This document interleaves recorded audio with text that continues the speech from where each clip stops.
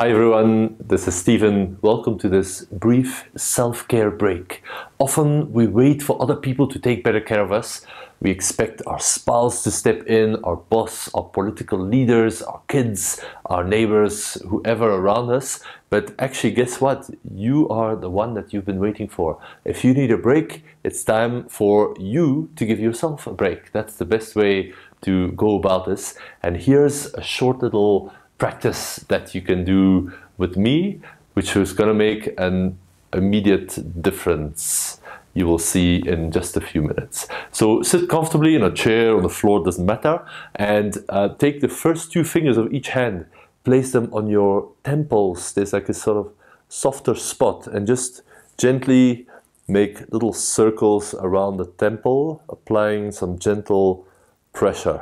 You're welcome to close your eyes so you can just tune in.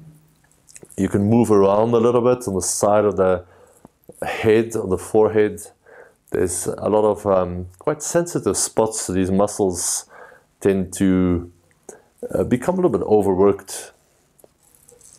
Good. And then go a little bit lower. So in front of the ears, there's the jaw, the muscles of the jaw that help you um, bite and also move your jaw as you're talking. So dig in there with your fingers I like to use the two first fingers of each hand. You can go up and down, but try to get in there a little bit. You'll feel there's some quite sensitive spots and some strong muscles that um, that close and open the jaw. So get in there. I've never met a person that didn't carry some excess tension in the jaw. So um, it's likely that that you'll find some work to do there.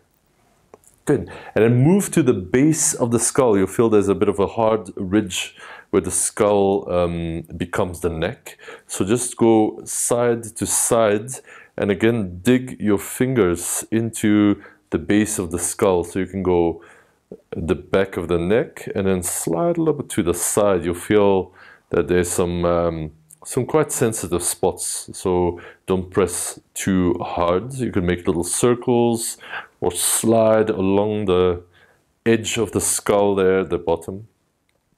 And then find these two ridges if you tuck your chin in a little bit. There's the back of the neck with two strong muscles running straight down. So then move, start at the top and gently press down as you slide down those strong muscles at the back of the neck.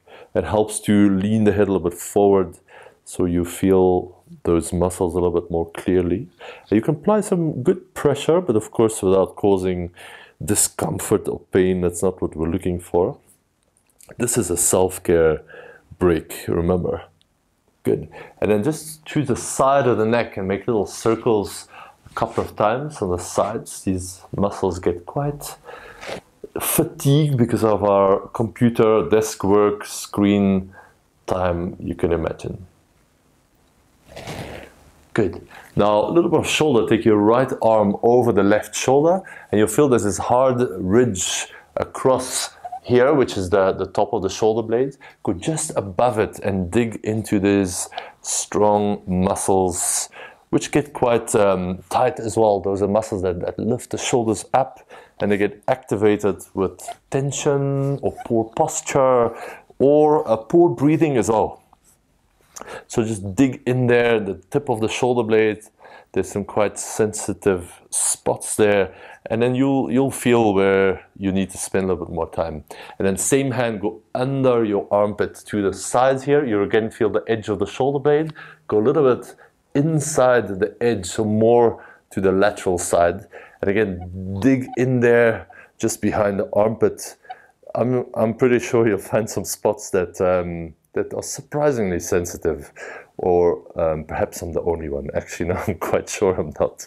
So dig in there with your fingers and give yourself a little bit of um, that self care that um, we need at this time. Good. Other hand, over your right shoulder, dig in there. Top of the shoulder blade is that sort of hard ridge here, and then go just above and a little bit more towards the middle, and you'll feel there's some work to do, and it doesn't matter how much you stretch or move or do yoga. Um, this is um, something that can always use a little bit more attention. Or maybe you've never done anything like this and uh, this opens up a whole new world of possibility for you. So dig in there, feel the, the sensitive spots that need a little bit of work. And then last one, left arm under your right armpit. Find the edge of the shoulder blade, that hard part, and go slide a little bit more outwards to the outer shoulder there and dig in. Those are the rotator cuff muscles that keep your arm stable and mobile inside the shoulder joint. But because of repetitive um, movements and often lack of movement, a lot of these muscles are finding themselves in a bit of a tighter spot than they could be. Good, last one, press a little bit, find where some attention is needed and then release that. You can roll the shoulders a couple of times. Feel the difference in the neck. We've done the sides of the neck, we've done the temples, the jaw, and a bit on the shoulders. Come back to this often. Take good care of yourself, and I'll see you here again soon. All the best.